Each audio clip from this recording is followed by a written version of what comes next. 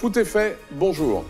Raphaël. Raphaël Confiant nous disait il y a quelques jours dans une interview à paraître dans Ensemble, un des supports de France Antilles, dans nos îles ensoleillées, la réalité dépasse souvent l'affliction.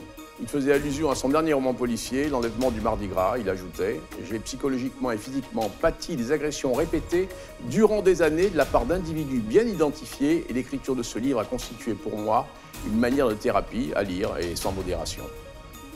Élie, sur cette antenne, dans Face à la presse, Élie Domota s'est amusé à déquiller, sans en avoir l'air, mais tout en le disant, Victorin Lurel, qui aurait tenté de se servir du mouvement LKP pour gêner le gouvernement de François Fillon et Nicolas Sarkozy pendant les, les 44 jours LKP. Pourquoi avoir tenté le diable et risqué la guerre civile? On s'étonne qu'un républicain comme Victorin Lurel ait pu ainsi jouer avec les allumettes.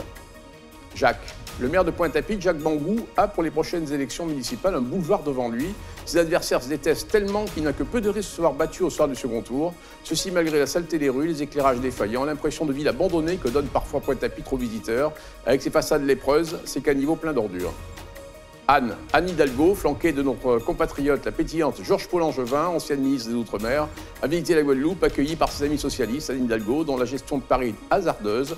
Au gré de ses caprices de bobo, rêve d'être présidente de la République, elle cajole les Outre-mer, mais elle devrait plutôt nettoyer sa ville. Jean-Claude, s'il est un maire qui se démène de sa commune, c'est bien Jean-Claude Pioche de la Désirade. Après avoir fait nettoyer son port encombré de sargasses, mis en place les navettes pour le continent qui avait été interrompu, il a décidé de relancer l'agriculture sur l'île, une belle initiative qu'il faut saluer. Bravo Jean-Claude. À demain